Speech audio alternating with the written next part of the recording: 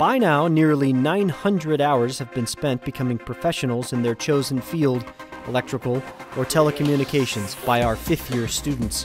When this year is over, each graduate will have spent more than 1,000 hours of in class and hands on instruction. In the fifth year, students are without a doubt productive members of a construction crew, and as such, a switch is made from day school to nights.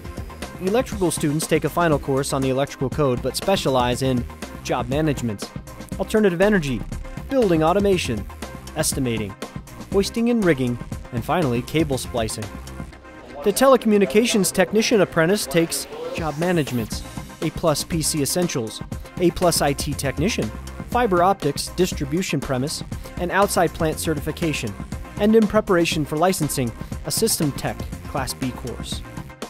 At the end of this program, paid for by the collective bargaining agreement between Boston NECA and Local 103 IBEW, these men and women are truly the safest, most highly skilled, and productive men and women any contractor or customer could hire for electrical work in this area of the country, and we believe anywhere in the United States.